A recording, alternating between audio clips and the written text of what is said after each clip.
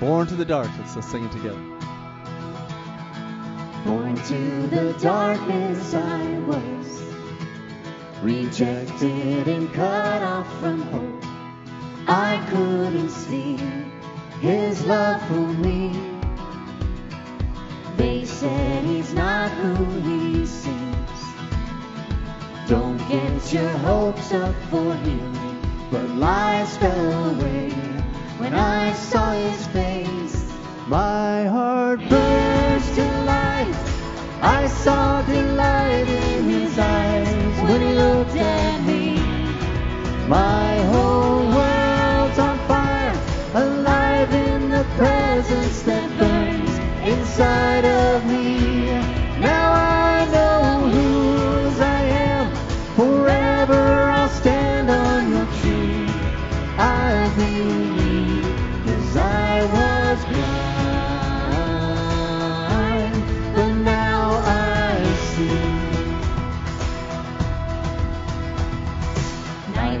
Turned to daylight for me.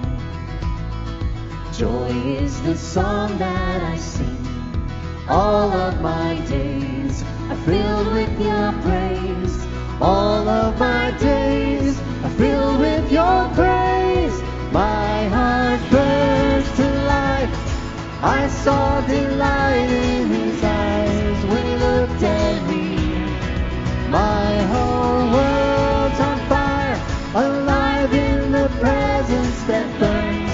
inside of me. Now I know whose I am. Forever I'll stand on your truth. I believe, 'cause I was blind, but now I see. No one could ever take my song away. My eyes were open when I saw his face. No one could ever take away my faith. My life was changed The day that Jesus came. Let's do that one more time. No one could ever take my song away. My eyes were opened and I saw his face. No one could ever take away my faith. My life was changed the day that Jesus came. Amen to that. Oh, my heart burst to life. I saw delight in his eyes when he looked at me. My whole world's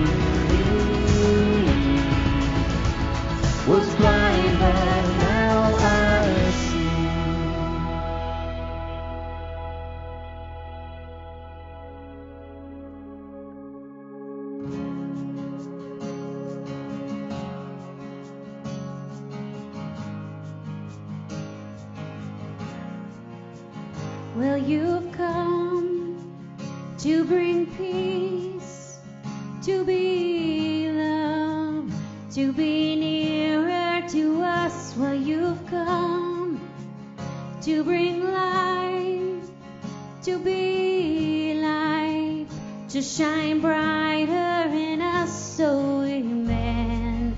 You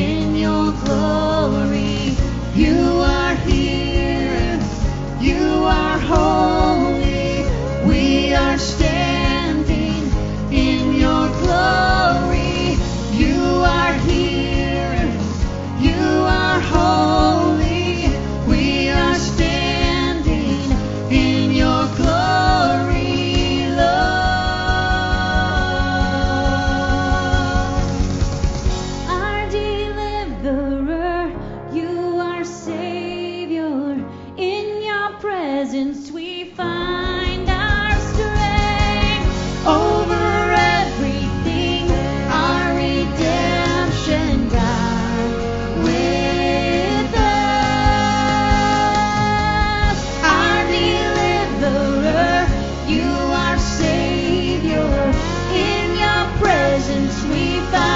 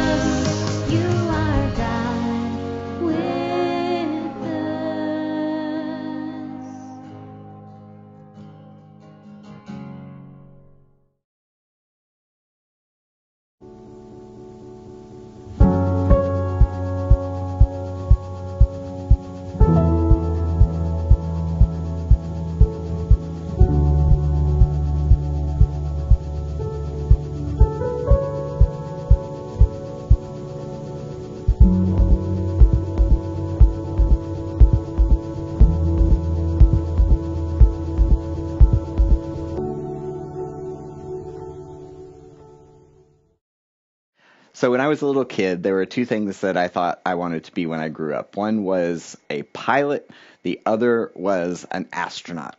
And so when I was growing up, I learned everything that I could about rockets and airplanes and learned about the principles that made for flight. And a little bit later, I got to go and visit uh, Kitty Hawk, where the first powered flight happened with the Wright brothers.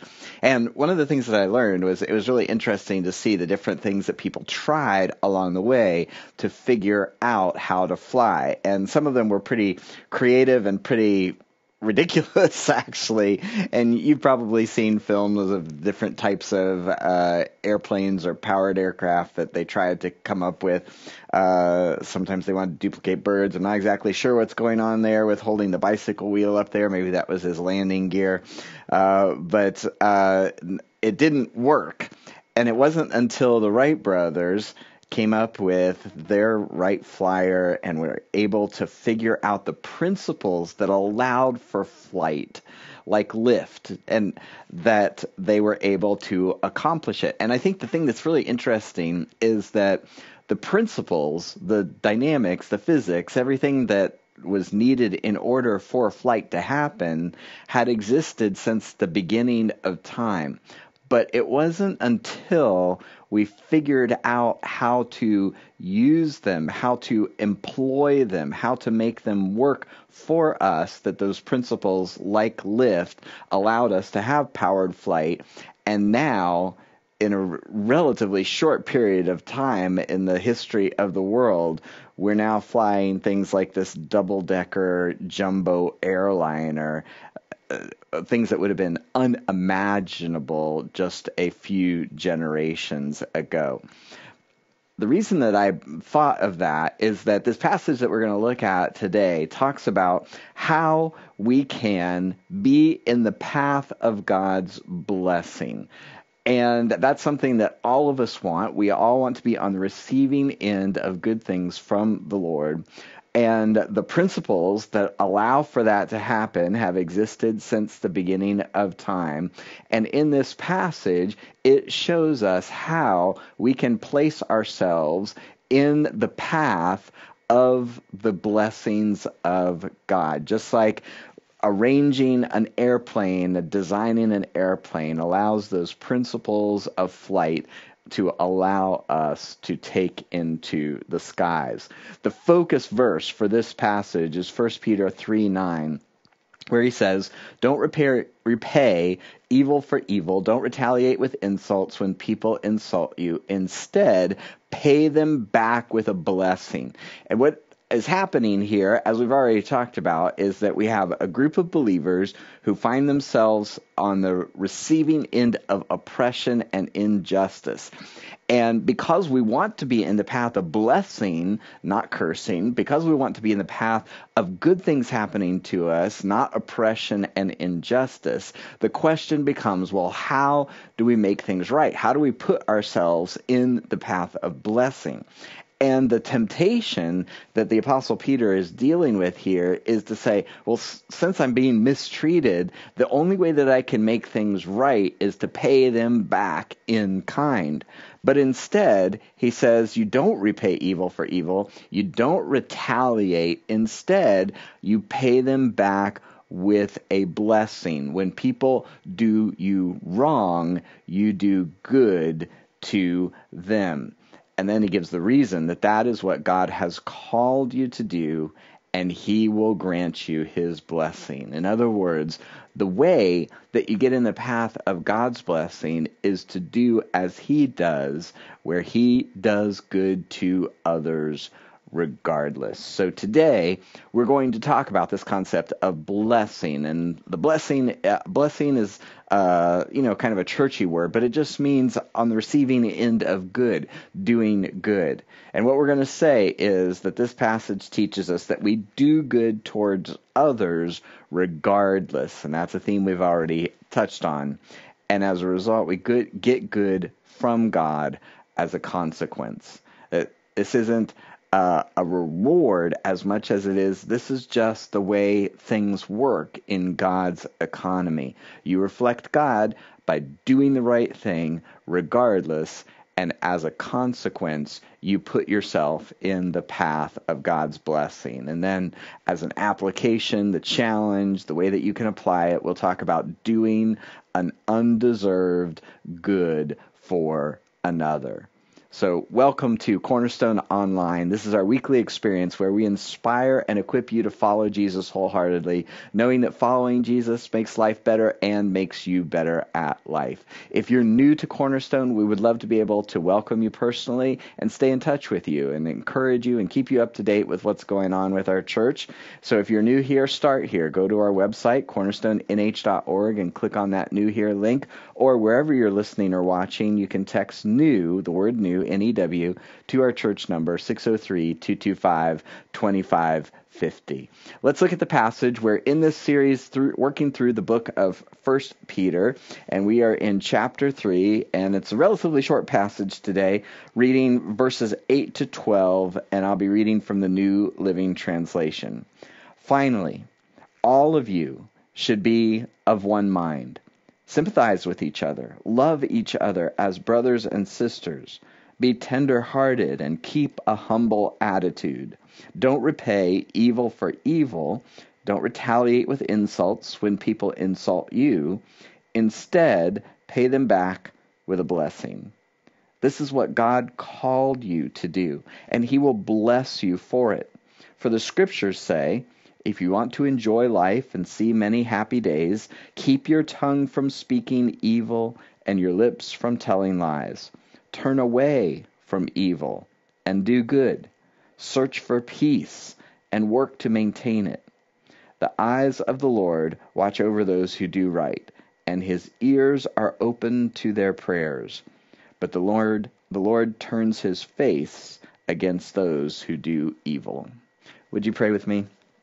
Heavenly Father, as we look at your word today, I pray that you would give us insight, that you would give us understanding, and that you will show it, us how it applies to our lives individually. Lord, we all want to be on the receiving end of good. We are all troubled when we see injustice and oppression, and we want to see things made right.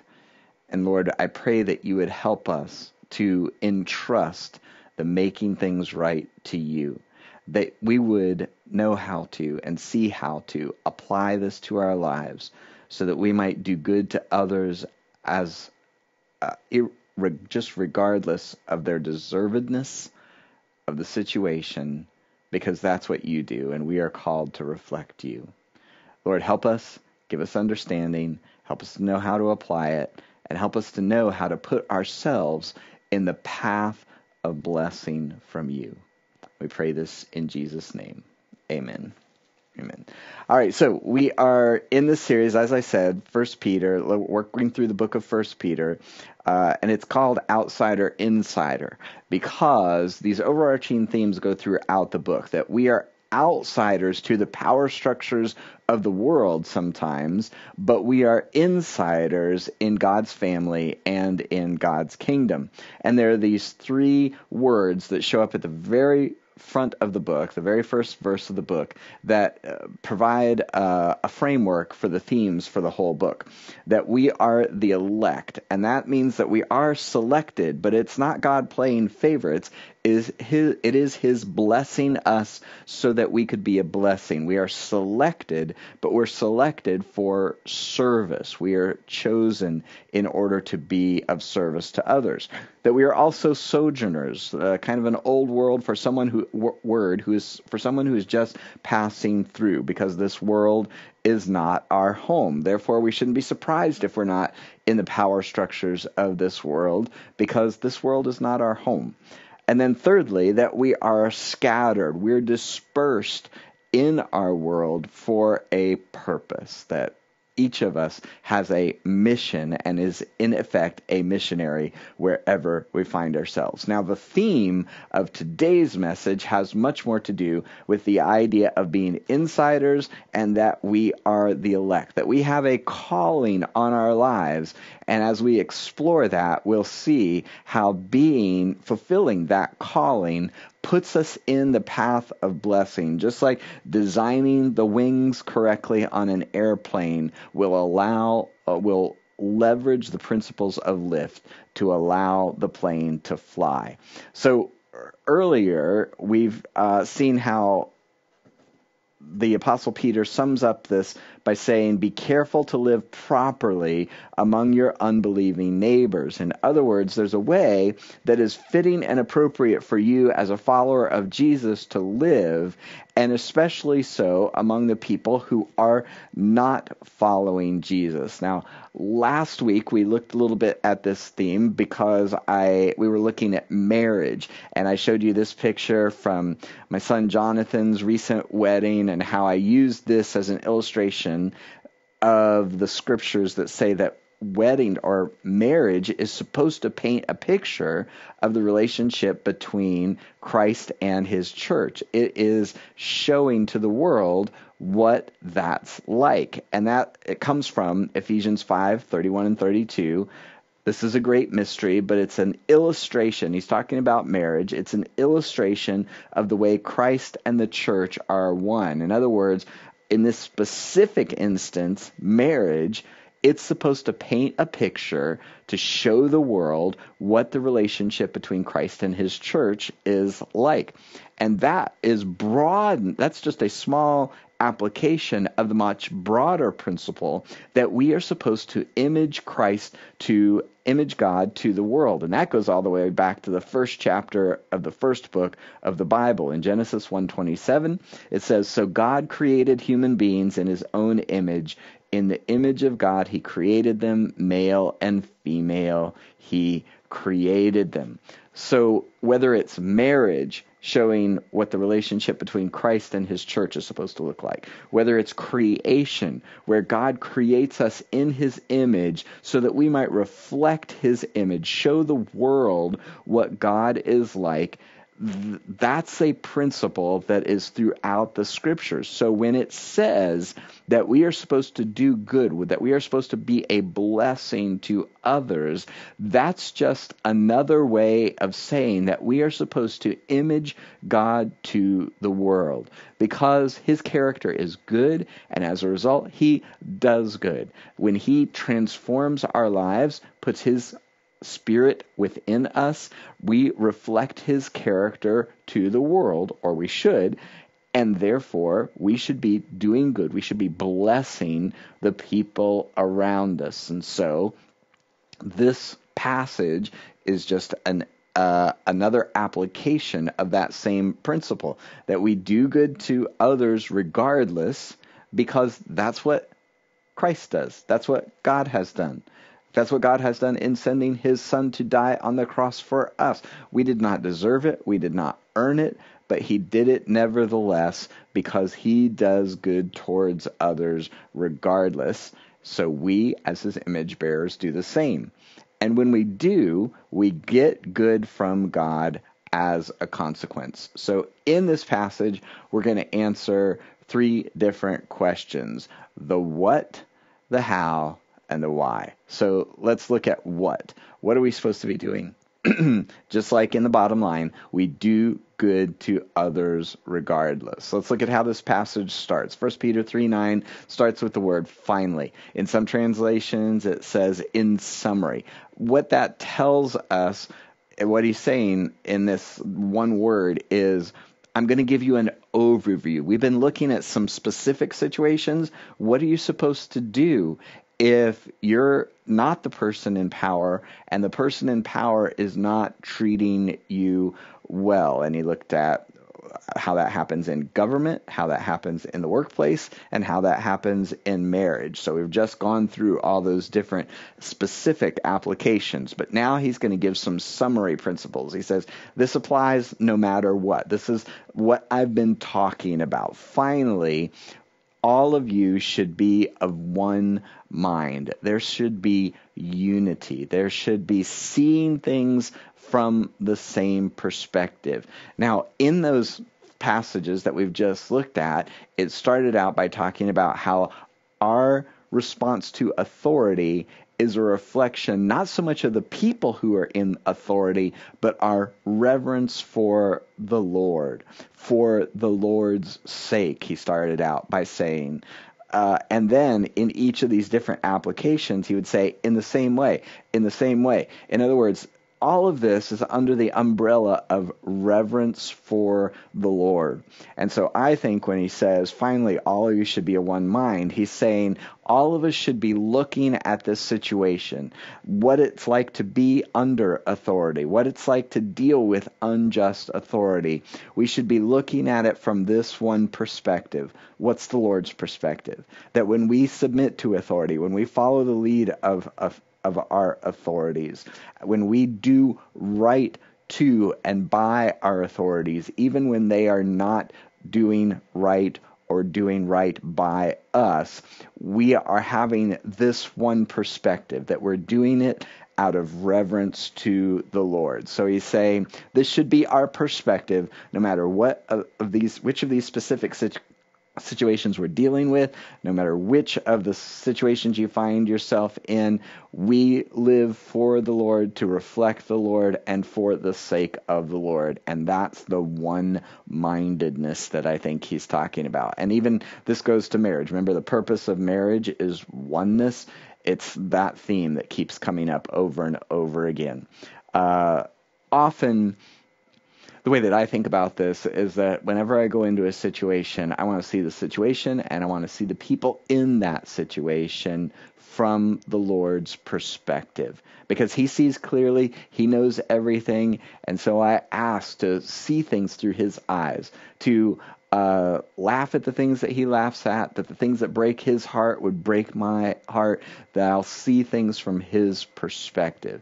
And this is the promise that we have as followers of Jesus, that we can be of one mind because we are tapping into the mind of Christ. In 1 Corinthians 2:16, it says, "We understand these things, for we have the mind of Christ." What's he talking about there? When you become a follower of Jesus, when you commit your life to Jesus, when you receive spiritual life, eternal life, when you're born again, all of these are just different ways of talking about that first step of crossing from death into life. Becoming a follower of Jesus, one of the benefits of that is that God comes and resides in us in the person of the Holy Spirit. And the Holy Spirit shares the thoughts of God with us. And that's what the Apostle Paul is talking about when he writes to the church at Corinth. We understand God's perspective. We can see things from through his eyes. We can think his thoughts after him because we have the mind of Christ. Then he goes on, Peter, back to the first Peter section, and he's just giving some different aspects of what this looks like for us to image Christ to the world, to be his image bearers, to reflect him well, to do good to others regardless, and put ourselves in the path of God's blessings. The next thing he says there is that we sympathize with each other, uh, that we see things from the other person's perspective. This is the same kind of thing that the Apostle Paul talks about when he's writing to the Romans.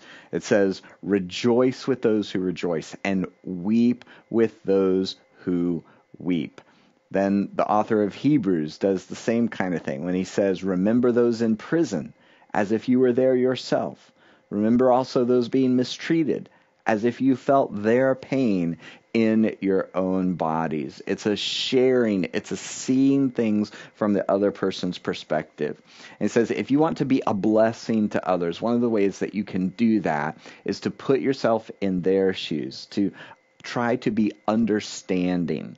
Uh, I just went away for a short trip to uh, run basically a, a, big errand, and it was a blessing to be able to do this to New York. And when I came back, Sue Ellen and I had been apart for a couple of days, and it was really kind of funny, kind of sad, but we were just missing each other. Do you ever have a situation where you you you things just don't go relationally because you're missing each other? And when I got home, Sue Ellen and I were just missing each other. It was not pretty.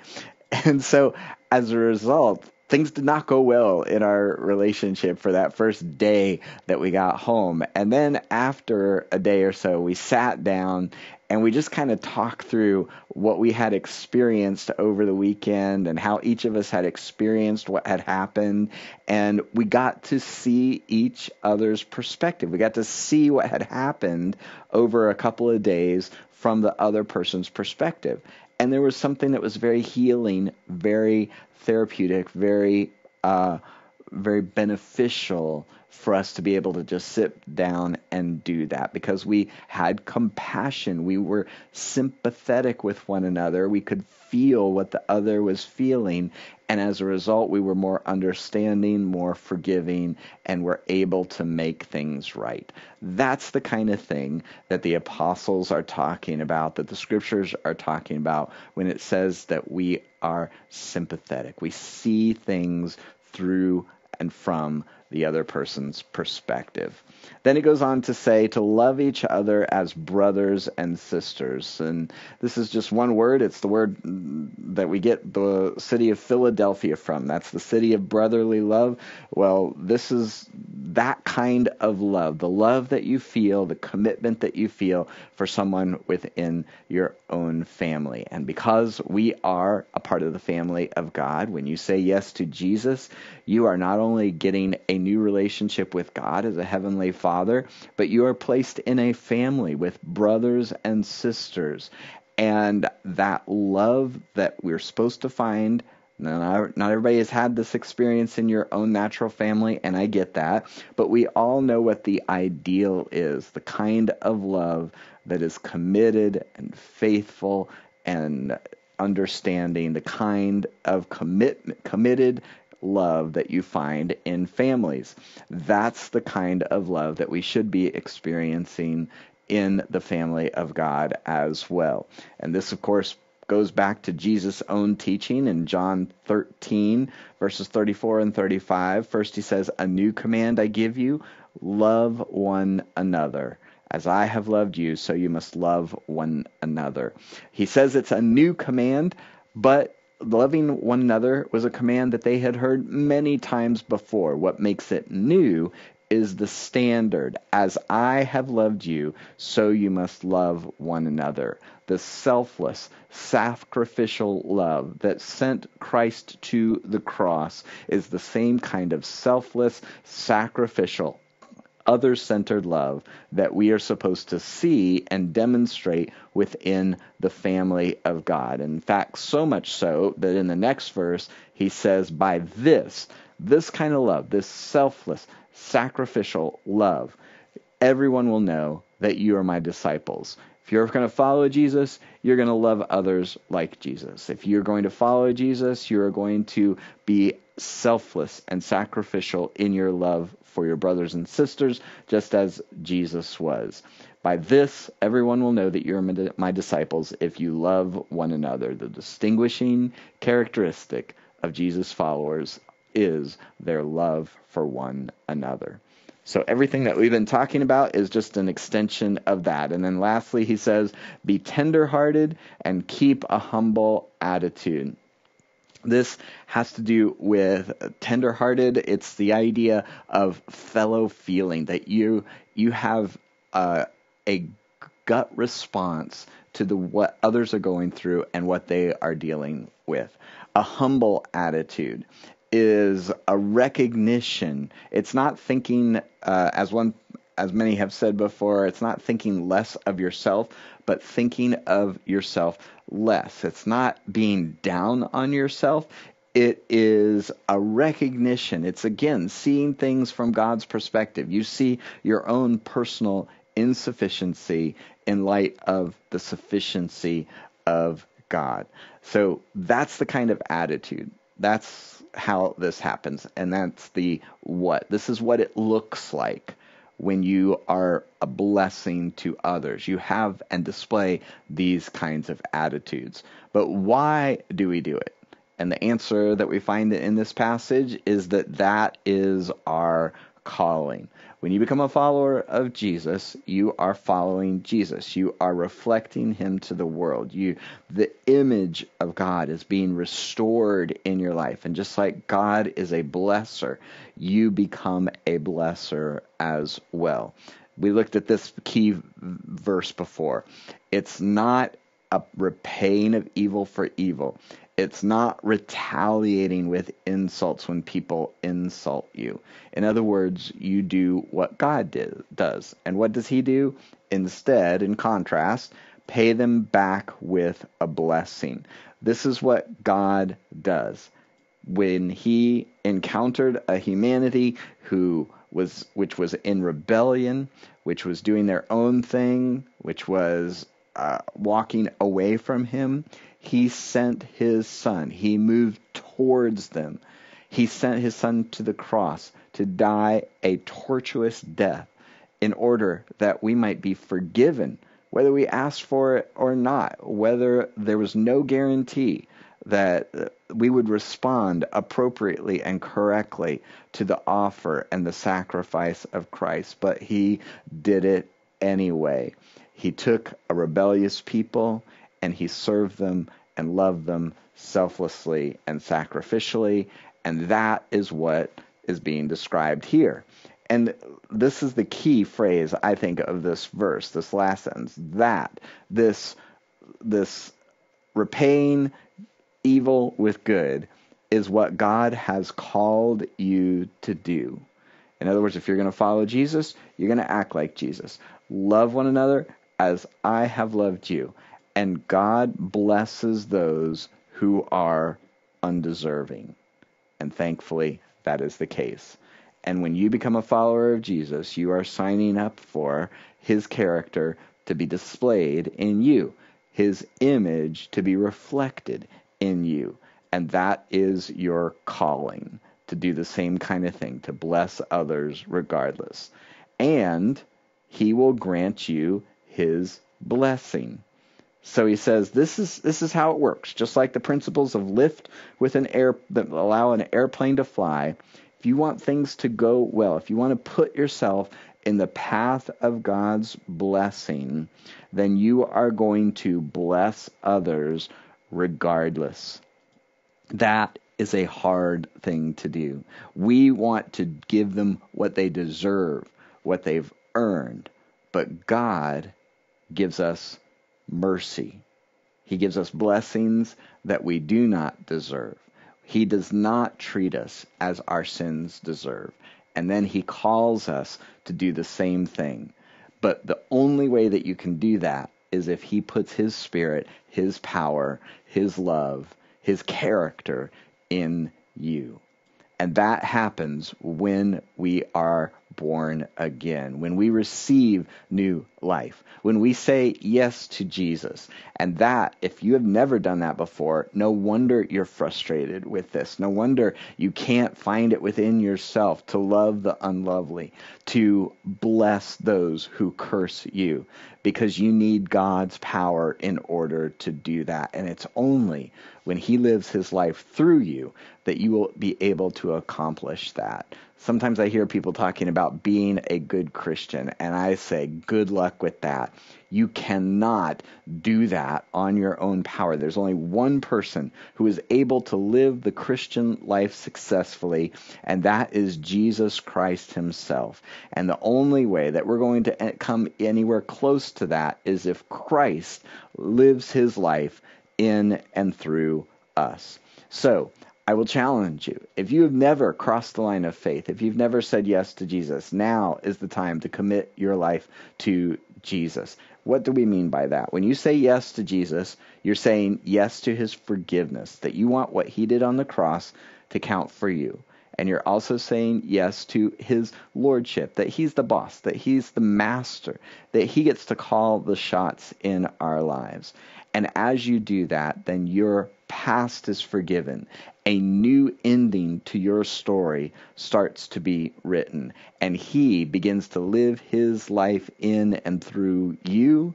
And you, like him, will be a blessing to others regardless.